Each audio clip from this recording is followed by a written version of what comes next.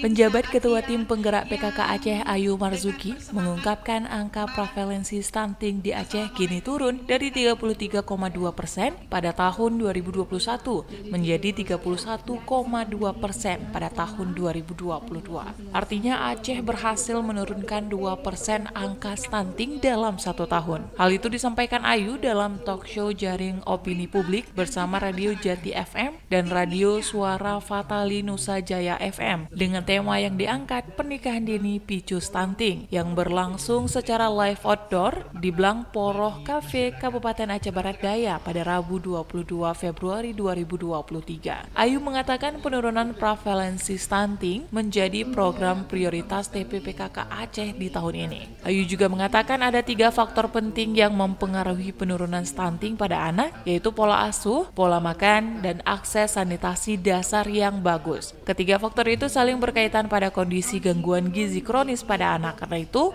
harus dilakukan intervensi yang difokuskan pada perempuan mulai dari usia remaja guna mempersiapkan fisik mereka sebagai calon ibu di masa depan. Kemudian, upaya intervensi pada remaja putri yaitu pemberian tablet tambah darah mingguan bagi remaja putri dari usia sekolah mulai SMP dan SMA sederajat serta dibarengi dengan dorongan aktivitas fisik dan konsumsi makanan bergizi seimbang. Kemudian intervensi pada ibu hamil mulai pemberian TTD, pemeriksaan kehamilan rutin, pemberian makanan tambahan pada ibu hamil, dan pemantauan perkembangan janin dengan pemeriksaan ibu hamil minimal 6 kali selama 9 bulan. Ayu juga menegaskan semua intervensi itu tidak hanya menjadi beban kaum perempuan atau ibu saja, tapi itu juga harus ada dukungan dan kerjasama para bapak dan suami agar stunting dapat dicegah sedini mungkin. Sementara itu, Kepala Dinas PMP 4 Aceh Barat Daya Nur Afni Mulia Diana menerangkan ada tiga risiko yang akan dihadapi bagi mereka yang melakukan pernikahan dini. Pertama dari segi pendidikan mereka akan sulit mengenyam pendidikan hingga 12 tahun. Kedua, dampak kesehatan bagi pengantin wanita di mana organ reproduksi belum siap sehingga risiko kematian saat melahirkan akan besar terjadi.